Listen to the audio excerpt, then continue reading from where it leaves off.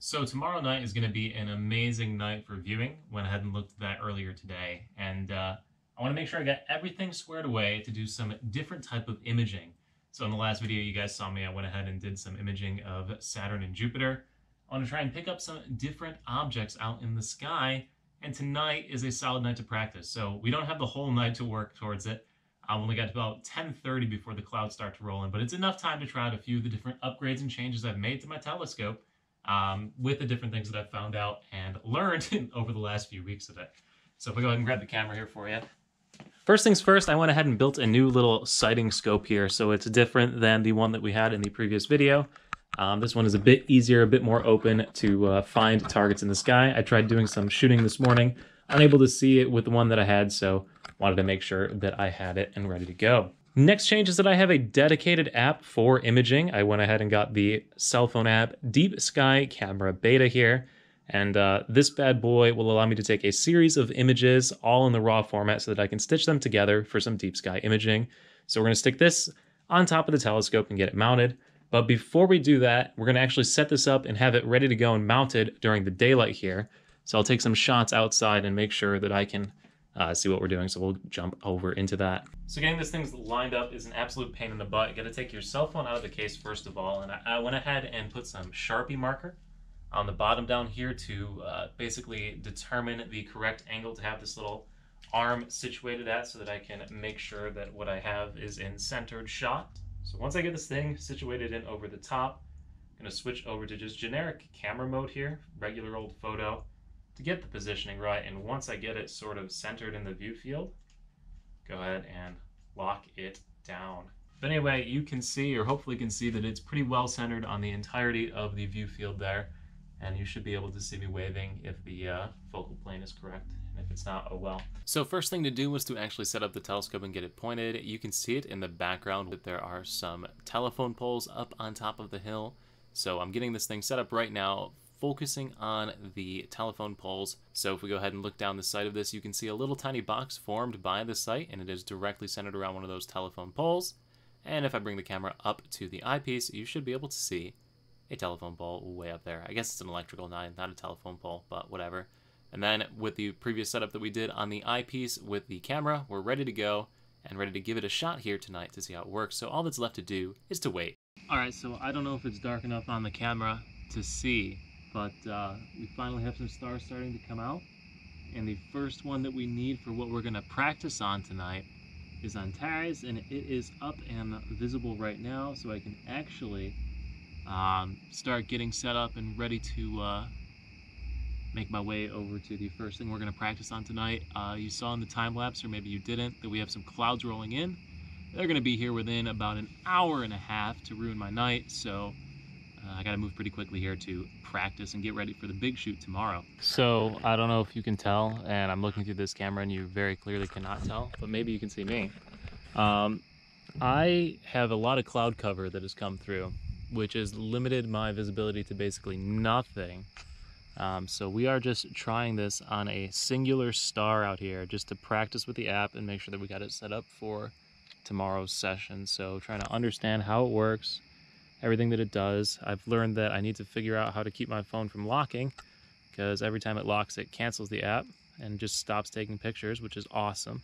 Got to figure that out. But otherwise, I think the app is working. So we'll see how it comes out in the end, um, what I'm able to draw out of this picture. But uh, yeah, for now, it looks like I got absolutely nothing as far as uh, images go.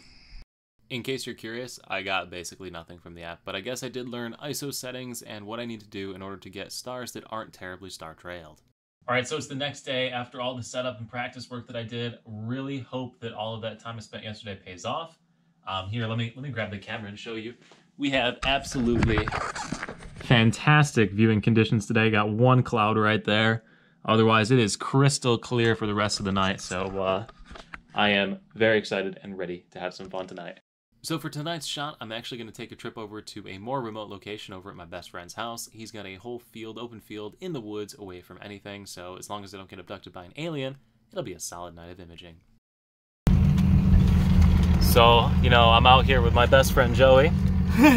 you can't see him, but he's taking me to the middle of a field in the woods. That's civilization way out there. That's a solid, what, three miles out, you think? Yeah. Not that far. But it's a good distance away, and we have pretty clear view of like everything up here. This is kind of friggin' spectacular.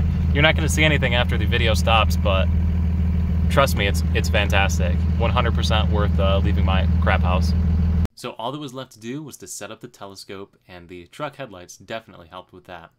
And now we're going to get to the super disappointing portion of the video. So this is the first thing that we found. It is the M7 star cluster, and this is what it's supposed to look like when you have a real good camera, and, and this is what we were able to get. So I guess you can see that the stars match up positionally, but definitely not as spectacular.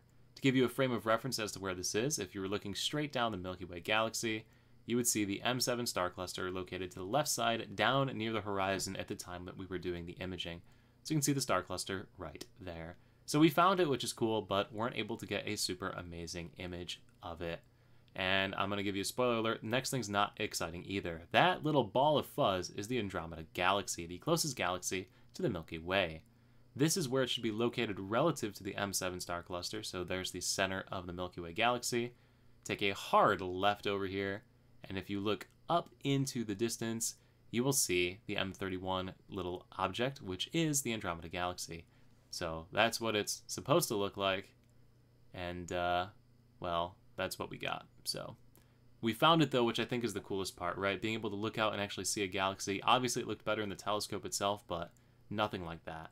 So to not be disappointed like I was after that session the other night, I woke up at 4 in the morning to be able to try and take pictures of the Orion Nebula. So this is what I was able to obtain after stacking 600 pictures, which looks absolute garbage because like 600 of the 600 didn't stack. But I messed around with the colors and shading a little bit and made this pretty little image of it. So you can see some of the reds that are a part of the Orion Nebula itself.